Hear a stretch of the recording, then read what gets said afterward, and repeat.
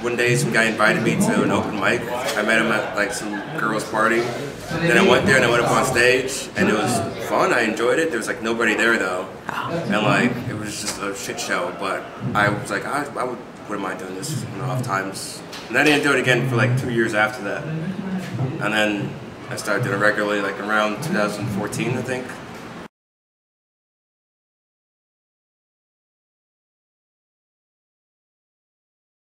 Totally stupid and dumb. I'm not even gonna lie. We went up there. It was like it was like in New York. This guy invited me. All the comics that were supposed to be on the show didn't show up. And it was just me, this other guy he invited that had never done it before, and like three audience members. And so he just went up back and forth on stage, going back and forth. And then it got to the point where the bartender was like, "You guys just gotta stop and go and leave."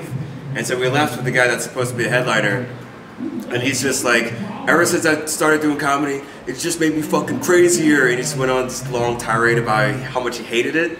And that was my first experience with stand-up comedy, just doing a show when no one was there. And, um, but I think it's kind of awesome because it's kind of made me be like, all right, this is what it's gonna be like, so um, get used to it. And then when shows are good, I appreciate it more.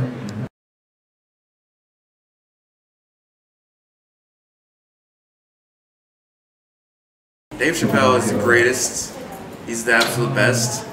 I'll say, for what it's worth, it's probably my favorite stand-up special that's ever been released. Like, I love watching that shit. Like I could probably watch it like a million times from beginning to end. It's Dave Chappelle, Louis C.K., like literally everything he does. John Mulaney released one recently. That was really awesome. And uh, probably like Mitch Hedberg.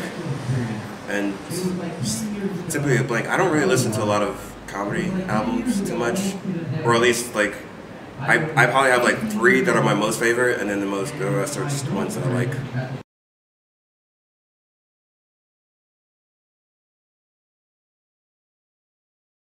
Well, I like Seinfeld. That's my favorite. Seinfeld, Curb Your Enthusiasm, Parks and Recreation. I like Louie, the television show. I like comedies that are just like it's a comedy, but it's not like it's not like The Big Bang Theory or there's no like soundtrack or, or, or laugh track. I mean, so, something like that. Things that are typically more grounded and serious a little bit. Like Louis is great. There's a show Broad City. It's kind of silly, but that's fun.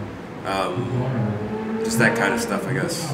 I, I watch like a lot of Saturday Night Live sometimes.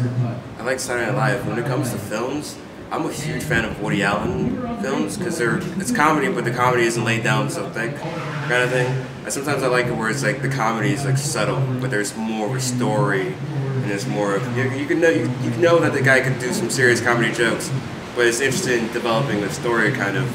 But stuff that's like more silly or whatever, I'd probably go with I don't know, all the comedy that I like is pretty grounded in reality. It's no slapstick or outrageous shit.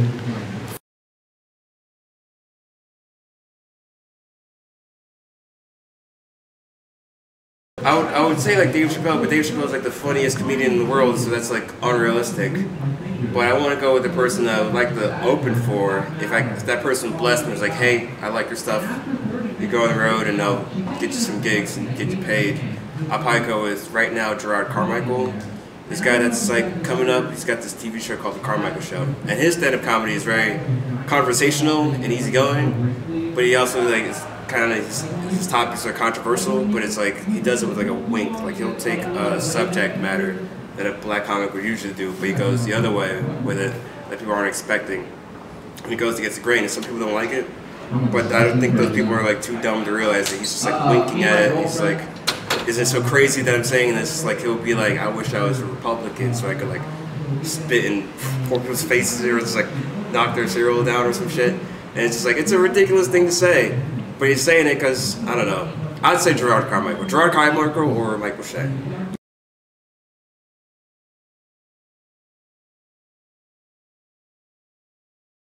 Patrice O'Neal, he's amazing. He's very amazing at crowd work. I'd pick Jeff Ross.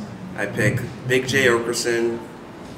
Um, who else to be roasted by? I'd probably pick Richard Pryor, and I hope I'm getting his name right. He was like, I think his name is Mooney. He was Richard Pryor's writer, and he performed on the Chappelle Show.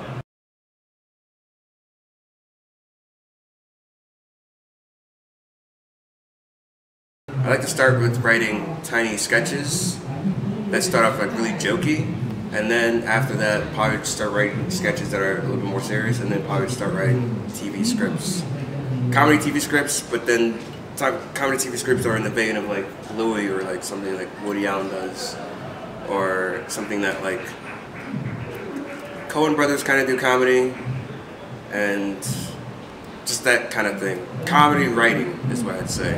I, my dream gig ever is to be able to write for like Saturday Night Live or just to be hired to write for a comedy show. But I feel like it'd be way more cooler just to be like a writer on a comedy. I'm not like in front of the screen kind of guy. I'm not like an actor type. I feel like I'd just be like I'd like to be like co-writer like uh, like with Seinfeld. Jerry Seinfeld was on the screen, but Larry David was the guy that was writing all the actual funny shit. That kind of thing.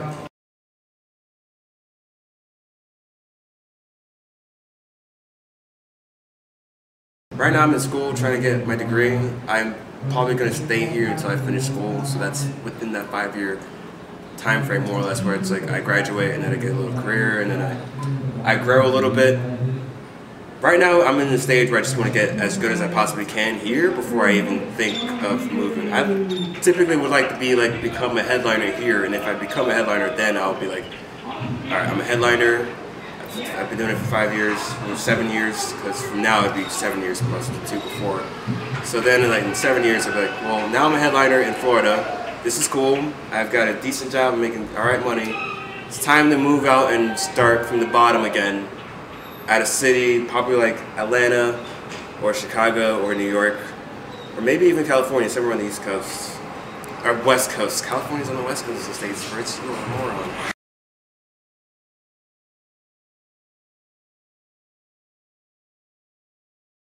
Oh, that was a guy, and he was just being himself totally, 100%, and there's no shtick.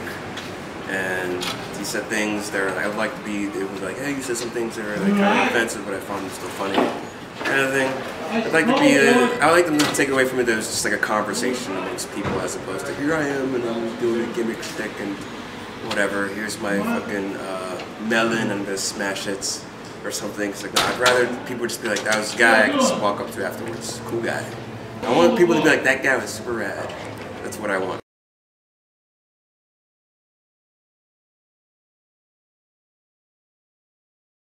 My name is Fritz Pierre. You can find me on Facebook. Uh, I'm on Instagram, but I mostly use Instagram to follow uh, half-naked women.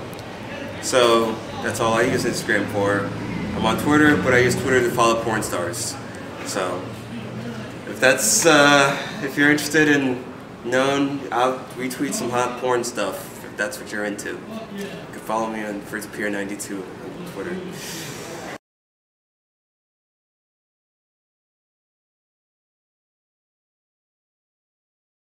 Hello, my name is Fritz Pierre.